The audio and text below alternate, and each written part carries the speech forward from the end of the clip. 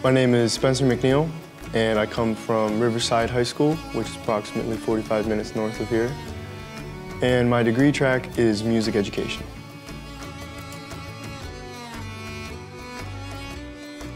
The way I found out about Duquesne University was whenever they originally hosted the Jazz Week at the school. And I stayed overnight and learned a whole bunch from all the great faculty here. Orientation week was a really fun experience and really taught me how to wake up on my own and go find where to do laundry on my own and all the basics of living at college.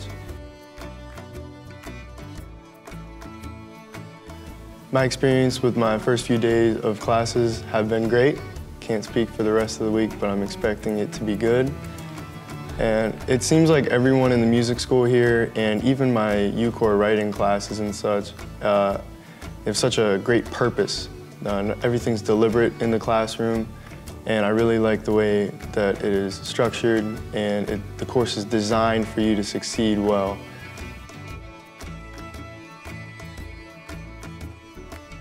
I really like that people here are very kind, and especially in the music school, you really feel welcomed everywhere you go.